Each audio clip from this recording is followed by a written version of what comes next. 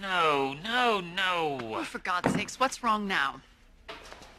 Once again, the concept is, sweetie, you're taking the pie out of the oven, your face aglow with surprise. Why am I surprised?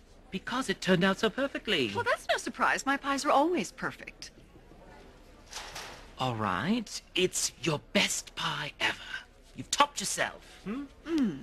And I know this before I've tasted it? Sweetie, just make whatever face you want. I just think you'll sell more cookbooks if you don't look like you just made love to an ice cube. Andrew, dear, I'm going to take a little break. Would you please tell this gentleman that if he calls me sweetie one more time, I'm going to grab his camera and take a picture of his colon. You got that, right?